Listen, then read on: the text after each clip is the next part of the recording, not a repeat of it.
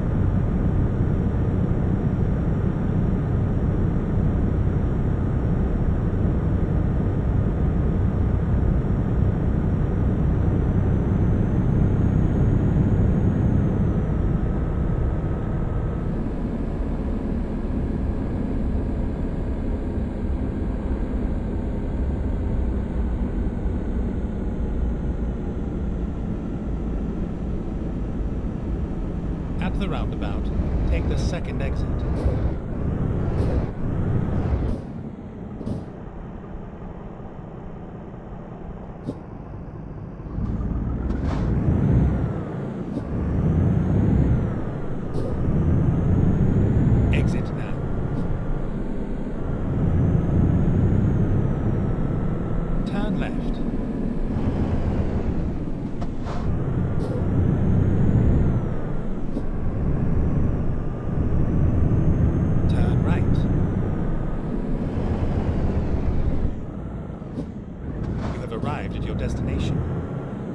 guidance is now finished.